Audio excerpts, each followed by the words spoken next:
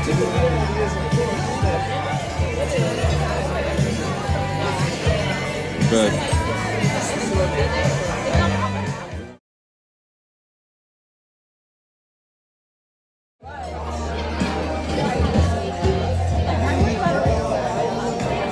I think in terms of presentation, that's my favorite.